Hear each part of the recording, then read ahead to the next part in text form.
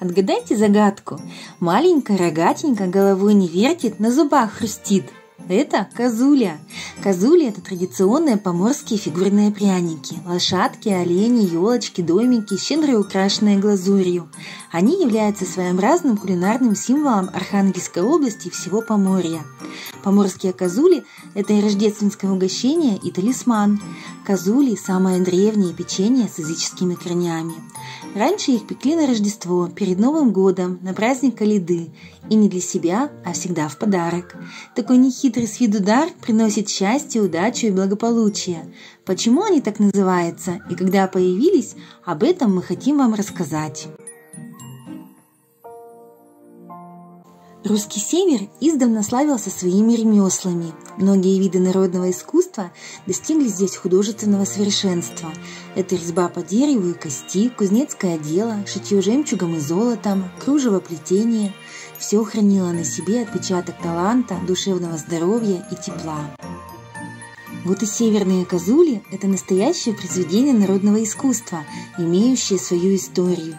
Козули славились не только отличными вкусовыми качествами, но и прежде всего высокохудожественным оформлением.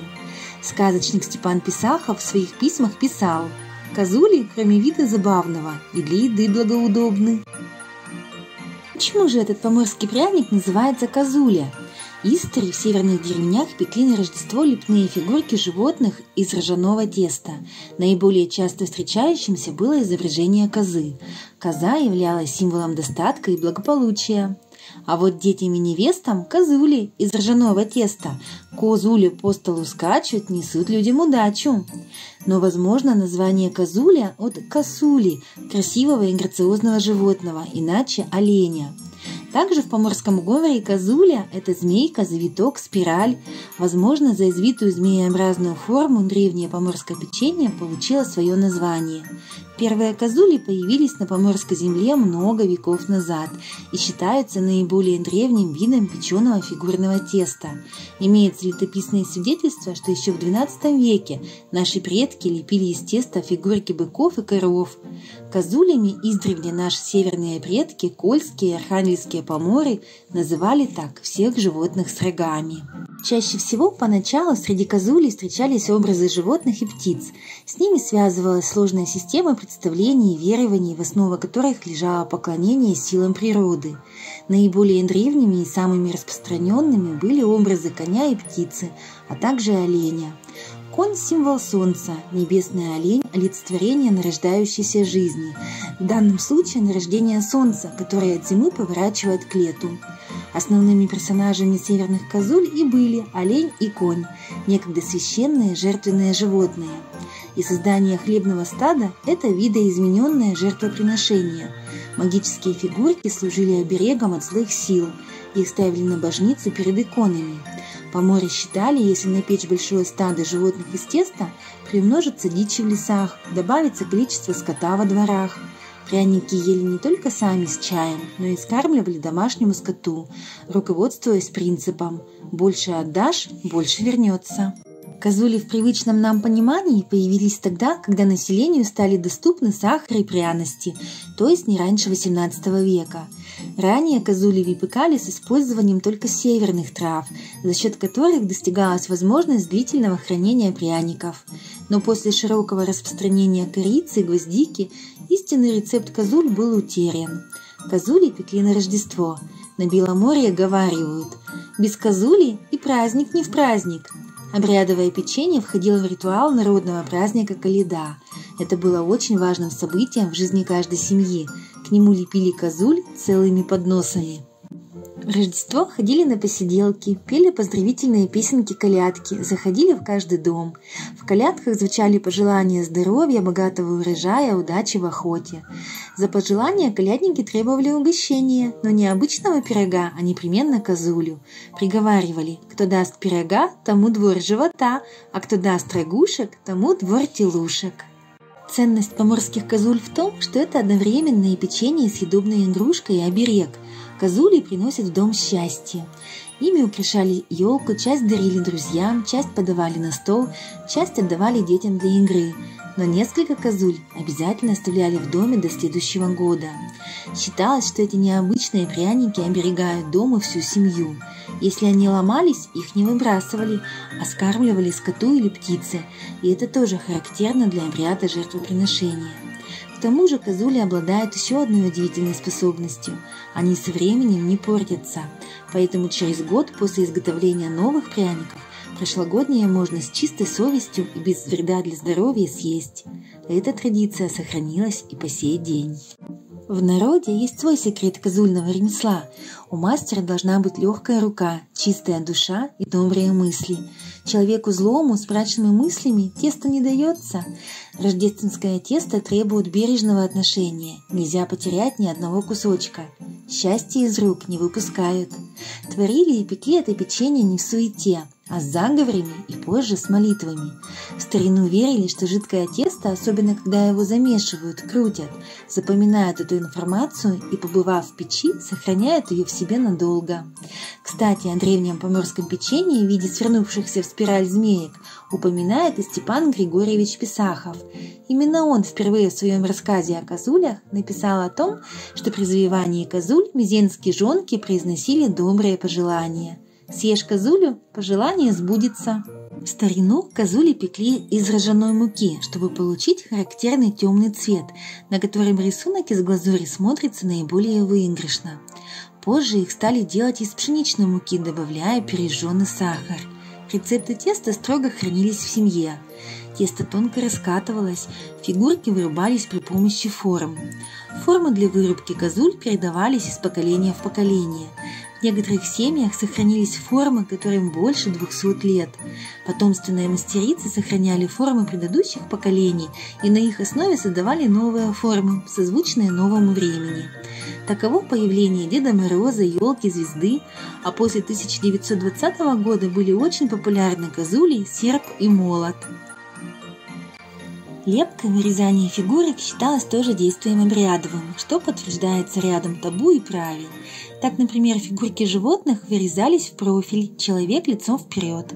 Объемные фигурки оленей должны смотреть в левую сторону, иметь определенное количество рожек. Внизу под фигуркой обязательная полосочка земли, скрепляющая хрупкий материал. Такой пряник удобно взять в руки, его можно поставить, ведь этого требовал обычай – сохранять подарочное козули на счастье до следующего новогодья.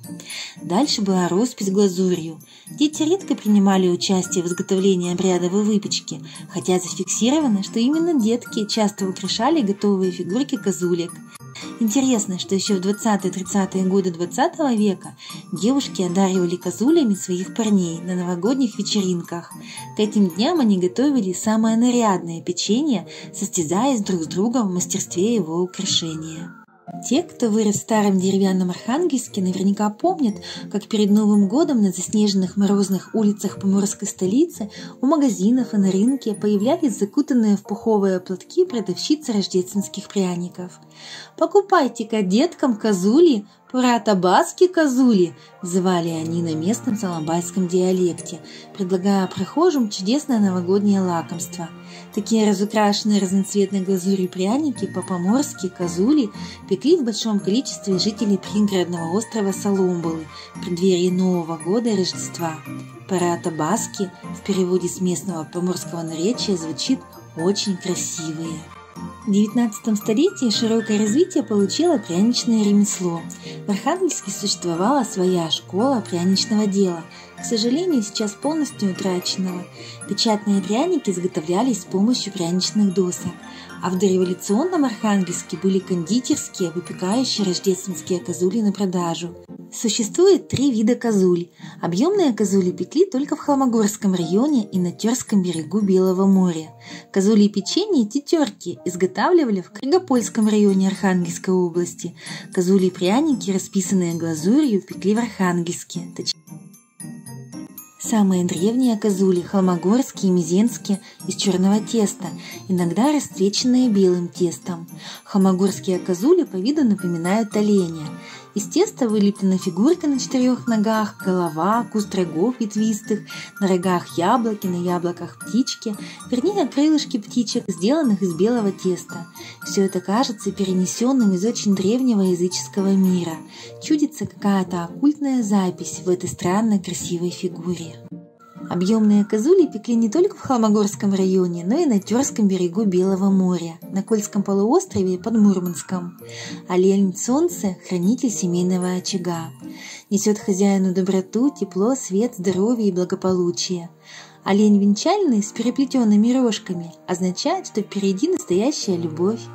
Однорогий олень весенний, олень дружеских отношений – Олень двурогий – символ здоровья и долголетия. Олень-вожак.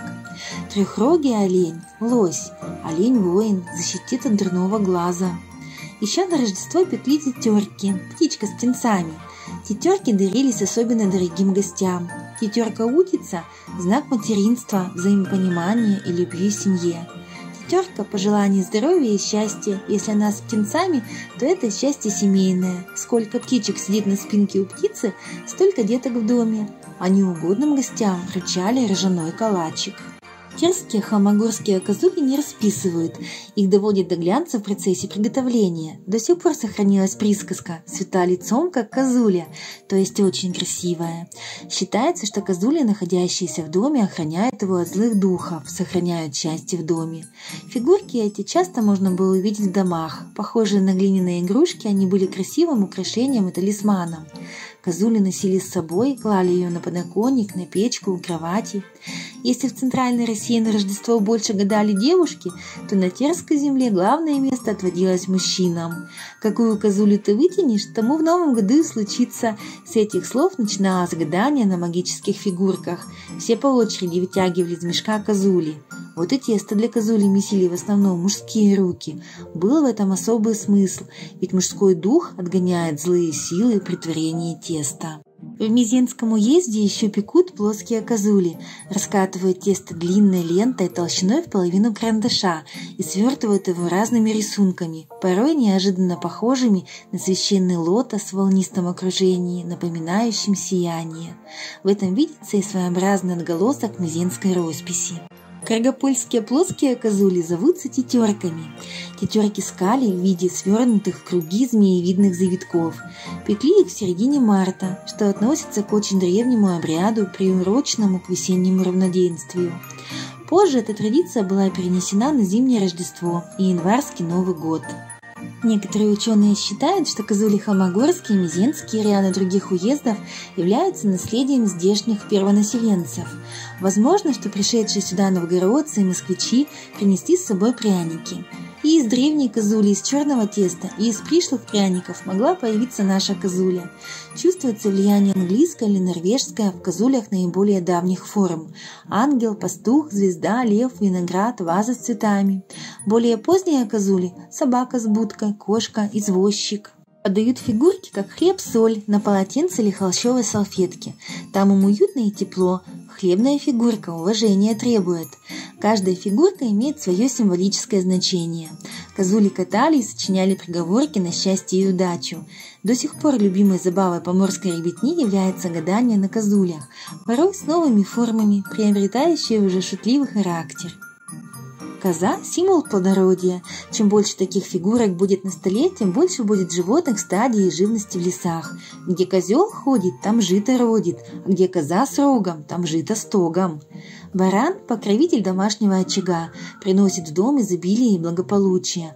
Ходит баран по крутым берегам, сорвал травку, положил на лавку. Кто ее возьмет, тот и вон пойдет. Корова – символ плодородия, покровитель домашнего очага, семейного уюта и достатка. Корова божья, титочка востра, сучок на бочку, дойна к молочку. Бык – защитник, помощь в работе и в делах. Сто бы тебе коров, полтораста быков, по ведру бы те доили, да всю сметаною. Лось – помощь и защита. Рога его расходятся, как лучи.